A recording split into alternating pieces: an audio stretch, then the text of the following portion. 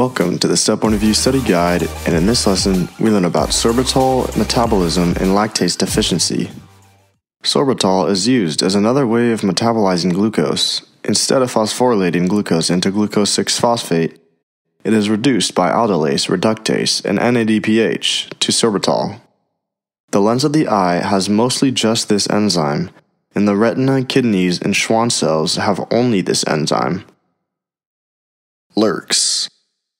However, in the liver, ovaries, and seminal vesicles, the pathway continues by being oxidized by sorbitol dehydrogenase and NAD plus into fructose where it can enter glycolysis. These cells lose sorbitol. Tissues who lack the sorbitol dehydrogenase will accumulate sorbitol, increasing the osmotic pressure, causing damage resulting in cataracts, retinopathy, and peripheral neuropathy. Chronic hyperglycemia in patients with diabetes may experience this. Lactase is an intestinal brush border enzyme that digests lactose in the milk into glucose and galactose. However, primary lactose intolerance occurs in some population members who lose this ability, commonly Asians, Africans, and Native Americans after childhood.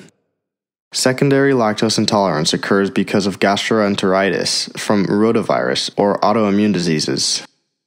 Congenital lactose intolerance is not common, but it does happen because of a gene defect.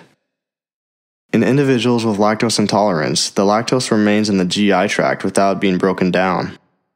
Lactose increases the osmotic pressure, sucking the water into the GI tract. This results in diarrhea, bloating, cramps because the body becomes dehydrated, and flatulence. Since your brush border enzymes aren't digesting the lactose, other microbes in your GI tract do. As they do, they create hydrogen gas and lower the pH.